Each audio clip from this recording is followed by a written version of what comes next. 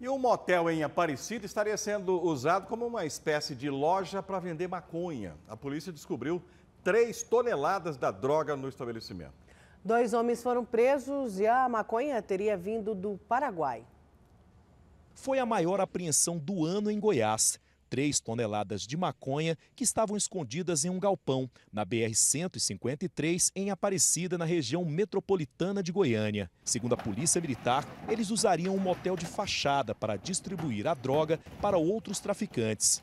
Em um dos quartos foram encontrados 100 quilos de maconha. Nós aqui acreditamos que ele pegava a droga de um ponto, levava para o outro para ser vendida, inclusive usando um motel como fachada ali, né?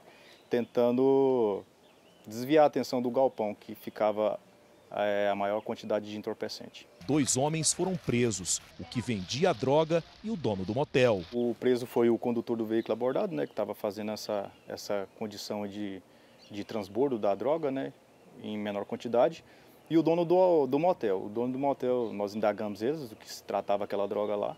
Ele nos confessou que a tinha, havia alugado para, para o abordado por cerca de duas semanas aquele quarto. A maconha apreendida em Goiás veio do Paraguai. Segundo dados do Ministério da Justiça, é do país vizinho que vem a maior parte da droga apreendida no Brasil, que entra pela fronteira com o Paraná e o Mato Grosso do Sul. O Paraguai é, é um grande produtor, né?